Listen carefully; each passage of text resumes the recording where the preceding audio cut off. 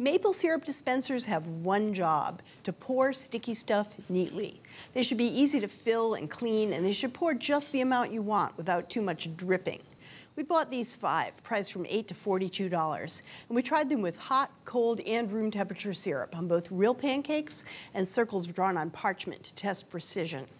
The bottom line, some of these made a drippy mess.